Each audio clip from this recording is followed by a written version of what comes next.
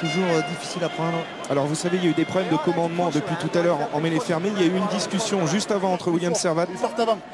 J'aimerais que vous changiez le timing, comme ça personne ne peut attaquer avant. Ah, pour chaque mêlée, que ça change. Comme ça personne ne peut attaquer avant. Ok. Merci.